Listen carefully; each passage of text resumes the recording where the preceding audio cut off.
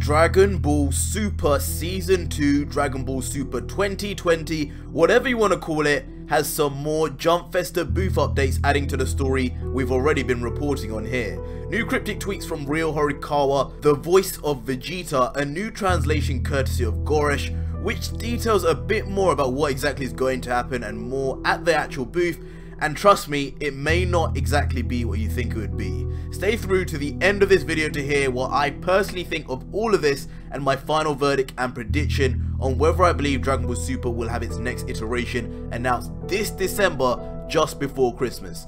But before that, my name is Arj and I welcome you all to hit that subscribe button with your notification bell on to join our army of 197,000 like-minded Dragon Ball fans. But moving on, so a day ago I broke down updates concerning the possible announcement of Super after Ryo Horikawa sent out a tweet which basically was him teasing big news from Toei that he wasn't allowed to share yet. Now, when that went out, one of the things that I mentioned to you in that video is that language specialists had broken down that the way he is phrasing things, he was saying things using Japanese mannerisms which would actually normally be seen as disrespectful. And so it was actually him tweeting in the voice of Vegeta using his character. Now some people were a bit confused about that but he has now released a second tweet which details the following. I will prove that I am the strongest at Jump Festa 2020. Now, if it wasn't clear enough before to you what I meant about him speaking in Vegeta's voice, then it should be very clear by now. But before I really go in and talk about that, because let's be real, that is some interesting information and a random sentence for him to claim, I also want to touch on this translation Goresh has done concerning what will actually happen during one of the two, yes one of two Dragon Ball Super anime booths that will be going on in Jump Festa. It reads, a super wonderful Dragon Ball booth is set to be held at Jump Festa 2020, along with Nozawa Masako, who plays Goku, as well as other guests. We will have a talk corner looking back at the powerful enemies of Dragon Ball Super, and we will even introduce some improvisation on some scenes from the Dragon Ball Super comic that has not been made into anime. Let's do the Kamehameha with Nozawa Masako. Again, very, very interesting because this kind of says to me Forgive me if I'm wrong and feel free to let me know in the comments if you agree or disagree, but this tries to suggest that on at least this booth, there will be no reveal whatsoever concerning Dragon Ball Super returning, and in fact it will be some sort of strange real life filler episode where they just recap and go over the villains of the past. Now, the only thing I have to say when I think about this is that why look back on specifically the powerful enemies of Super only if not to lead onto something else. Something bigger and better.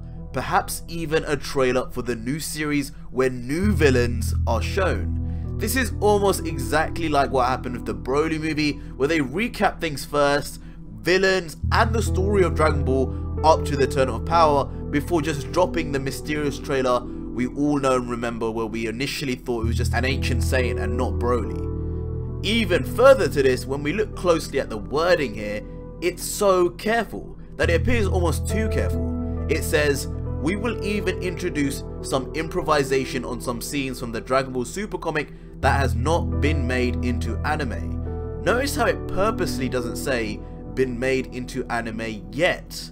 Almost as if to throw us off any idea of Super returning in anime form, which is classic Toei, but also silly since whether it's next year or in the next 10 years, these manga arcs will obviously be animated into the anime at some point since it's Dragon Ball and every single chapter has its anime counterpart and this will be no different. Just because this small summary doesn't mention anything about any announcement doesn't rule it out, since obviously they never leaked the Broly trailer either. Nothing is confirmed as always, but I gotta say I'm getting good vibes of Super's return from this, but you let me know what you think. Now back onto this Vegeta line. I will prove that I am the strongest at Jump Festa 2020. What does this line really mean and why is Horikawa the only voice actor revealing anything about Jump Festa while Toei and the rest of the cast remain quiet? It is strange, but it could be revealing something something other than a Dragon Ball Super return. The one thing we have had confirmed by Toei is that they do have another Dragon Ball Super movie lined up.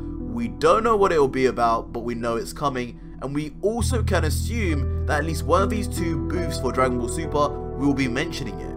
My initial thought from reading this is that if Dragon Ball Super is not being announced for a return, what if the new movie is going to instead revolve around Vegeta? Think about it, what if after all this time, after all this fan unrest, Vegeta gets his own movie and we have a movie called Dragon Ball Super Vegeta. A movie where Vegeta is the main protagonist, following his early life or a story of his own, where as Horikawa suggests, Vegeta will prove he is the strongest. It's obviously just my own speculation at this point, but it could definitely be plausible.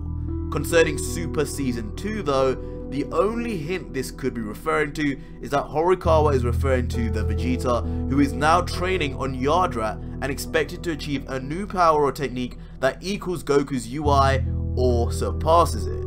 At Jump Festa, could we get an early spoiler of exactly what Vegeta achieves? We don't know, but this is Toei after all, the company which purposely drops spoilers for every single episode just so YouTubers like myself could cover it and build hype for each episode, so I wouldn't put it past them at all.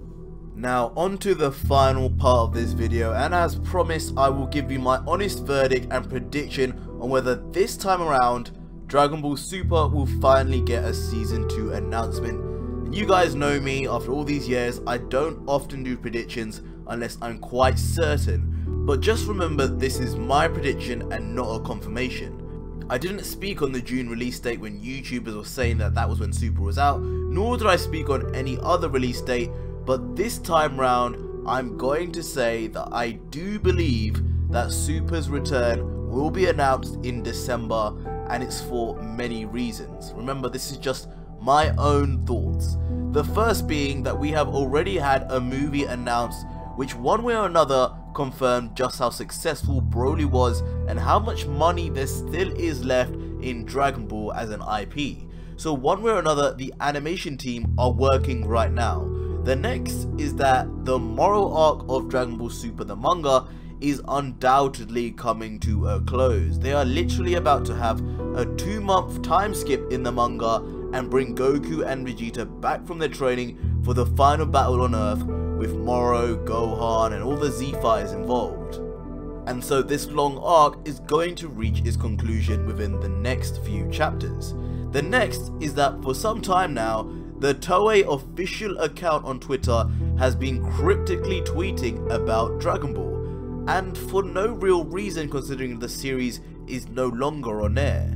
Having voice actors like Horikawa also publicly tweet about Dragon Ball and the Jump Festa event on purpose when Toei are usually famously tight-lipped also lends weight.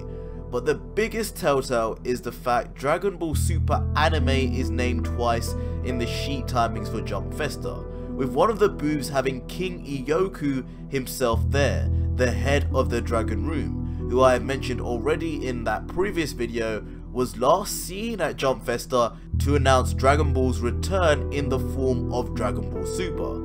With it being just before Christmas, the timing and everything in my mind seems to point me towards this conclusion and I'm gonna stick to it to try and will it into existence. But I'm interested to know what you have to say. And by all means, I really wouldn't blame anyone to say they don't think it'll be back because we have all been down this road a million times. We have even had supposedly trusted individuals in the past sell us exact release dates and nothing has come. So the same could really be said here. We have a movie coming out and there is only so much animation a studio can take on for one IP on top of the manga which is ongoing so it wouldn't be out of the picture to assume they want to just finish that before jumping back into the anime, which is notoriously long for breaks that in the past have taken decades. Not saying that will be the case this time, but it's important to always have perspective. If you managed to make it this far in the video, you're a true fan, so drop me a hashtag Dragon Ball Super in the comments to let me know what you think of all of this and how excited you are for a potential Dragon Ball return but also if you want to see more of me or more news I highly suggest you click on one of these two videos on the right which have over 200,000 views between them. you will not be disappointed. Until next video guys, cheers.